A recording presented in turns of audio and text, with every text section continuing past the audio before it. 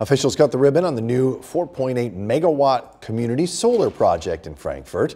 The project was developed by Catalyze, an independent power producer of renewable energy assets.